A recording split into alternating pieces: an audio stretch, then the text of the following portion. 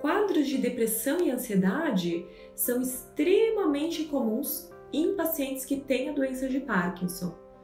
A depressão é um dos sintomas não motores da doença, que pode acontecer anos antes do aparecimento daqueles sintomas motores clássicos, sendo muito prevalente. Ela acontece em até 60% das pessoas nos estágios iniciais, podendo chegar a 80% nas fases mais avançadas da doença. Olá pessoal, tudo bem? Nesse vídeo de hoje eu vou falar por que a depressão acontece em quem tem Parkinson e por que é tão importante tratá-la. Nós sabemos que muitos pacientes com Parkinson podem se sentir tristes. Às vezes, no início da doença, é, até ter uma. As pessoas até podem ter uma dificuldade de aceitação do diagnóstico. Mas a depressão que acontece em quem tem Parkinson, ela é provocada por algumas alterações químicas no cérebro. E essas alterações já iniciam anos antes do desenvolvimento dos sintomas motores. O cérebro do parkinsoniano, ele tem alterações em áreas que produzem dopamina mas também serotonina e noradrenalina, que são neurotransmissores. Esses neurotransmissores estão diretamente relacionados ao humor, à energia e à sensação de bem-estar. Então é importante reforçar aqui que as pessoas que têm Parkinson, a depressão vai se manifestar um pouco diferente daquelas manifestações clássicas de depressão. Em quem tem Parkinson, a depressão, ela deixa a pessoa mais apática, como se ela perdesse a energia e perdesse a iniciativa.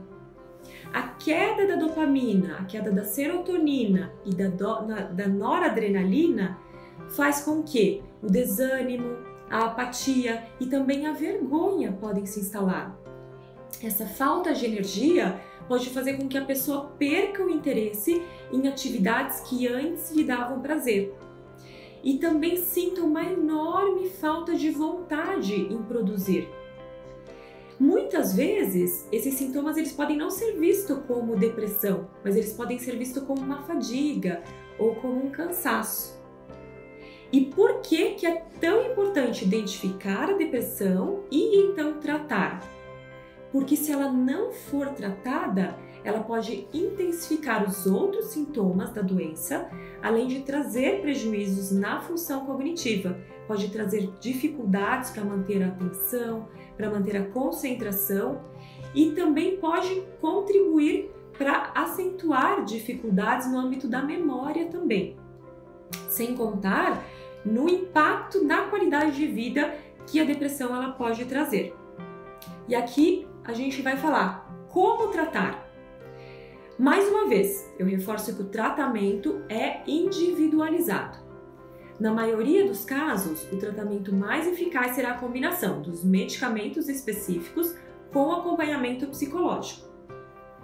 Além disso, nós orientamos acompanhamento com o profissional da nutrição para reforçar alimentos que possam melhorar a liberação desses neurotransmissores que estão envolvidos e estão em falta e também da prática de exercício físico regular, que vai contribuir com a liberação desses neurotransmissores e vão trazer bem-estar, disposição e vão ajudar a combater a depressão.